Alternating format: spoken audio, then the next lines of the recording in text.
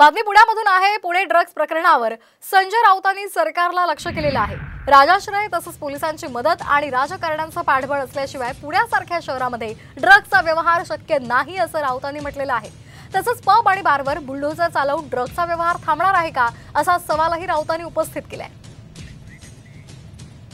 पण राजाश्रय असल्याशिवाय पोलिसांची मदत असल्याशिवाय राजकारण्यांचं पाठबळ असल्याशिवाय इतक्या मोठ्या प्रमाणामध्ये पुण्यासारख्या शहरात ड्रगचा व्यवहार होईल असं वाटत नाही.